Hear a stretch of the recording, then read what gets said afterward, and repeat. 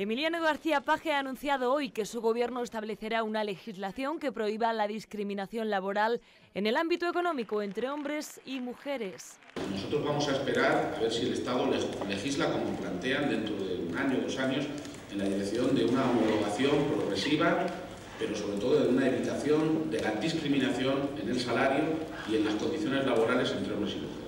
García Paje hacía estas declaraciones en el acto de entrega de distintivos de excelencia en igualdad, conciliación y responsabilidad social corporativa que concede el Instituto de la Mujer a empresas y que ha recaído en Tecón y en Caja Rural Castilla-La Mancha. En este entorno, la directora del Instituto de la Mujer en la región ha hablado de iniciativas como el Plan Estratégico para la Igualdad de Oportunidades, que ya están ultimando siendo uno de sus ocho ejes el de la autonomía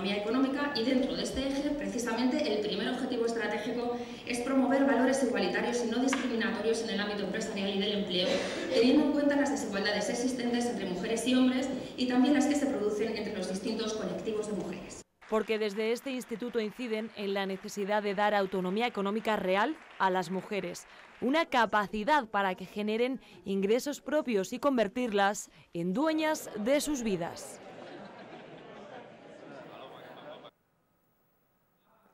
Pero la propuesta de una ley que evite la discriminación laboral entre hombres y mujeres no ha sido la única que ha hecho Emiliano García Paje. El presidente también ha hablado de, fomentar una ley de rescate o de segunda oportunidad para todos aquellos que por culpa de la crisis puedan ver comprometida su pensión en un futuro por falta de cotización. Una ley por la que luchará y que planteará desde su lugar en el PSOE y también en las instituciones.